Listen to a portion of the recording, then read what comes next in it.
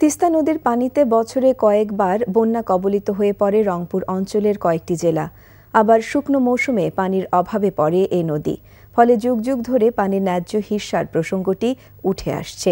এবারও প্রধানমন্ত্রী শেখ হাসিনার ভারত সফরকে ঘিরে পানি চুক্তি নিয়ে আশায় বুক বেঁধেছেন তিস্তা পাড়ের মানুষ।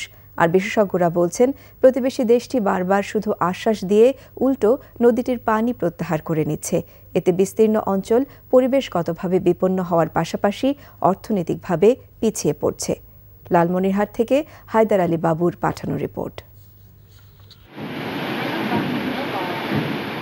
ভারতে পার্বত্য অঙ্গরাজ্য সিকিমে উৎপত্তি আলোচিত নদী তিস্তার। সিকিম থেকে দেশটির পশ্চিমবঙ্গ রাজ্য হয়ে প্রবেশ করেছে বাংলাদেশে।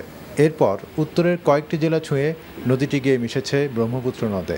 ভারতের ভারী বৃষ্টিপাত কিংবা পাহাড়ের বরফ গলা পানির ঢলে নদীটি কখনো উপচে পানিবন্দী হয়ে পড়ে লালমনিরহাট, নীলফামারী, রংপুর, কুড়িগ্রাম ও গাইবান্ধার লাখ লাখ মানুষ। নদীগর্ভে বসত ভিটা আবাদি জমি হারিয়ে নিঃস্ব হয় মানুষ। আগে জমি মেলা ছিল। আমি নদীত গেছি। কথায় আছে গোলা ভরা ধান ছিল পুকুর ভরা মাছ আর তিস্তা নদী ভেঙে নিয়ে করল সর্বনাশ। আবার শুকনো মৌসুমে পানির অভাব থাকে এই নদীতে।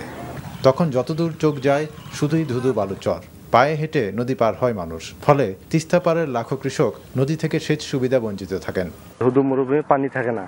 স্কিন ভুট্টা কোনো কিছু আবাদ সম্ভব করে না। এই বাস্তবতায় আলোচিত এই নদী রংপুর অঞ্চল বিশেষ করে লালমনিরহাটের মানুষদের জন্য হয়ে উঠেছে অভিশাপ। কারণ নদী পাড়ের মানুষের যখন পানি প্রয়োজন তখন তারা পানি পান না। আবার বর্ষাকালে উজান থেকে এতটাই ঢল আসে যে ভাসিয়ে নিয়ে যায় সবকিছু। যখন পানির দরকার নেই তখন তো আর আমার দরকার নেই। আর যখন পানির দরকার তখন তো ভারত দেয় না পানি। আশ্বিন মাস হলে যখন নদী হাইটা পার হবে কোনো পানি থাকে না।